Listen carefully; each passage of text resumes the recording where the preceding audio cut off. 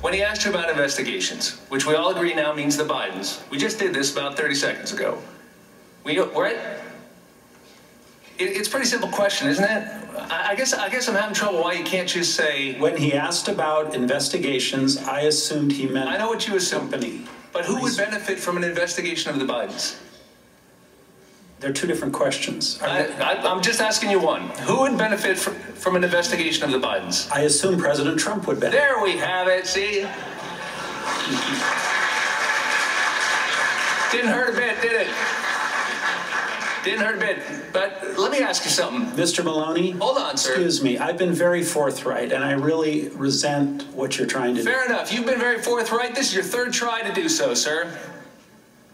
Didn't work so well the first time, did it?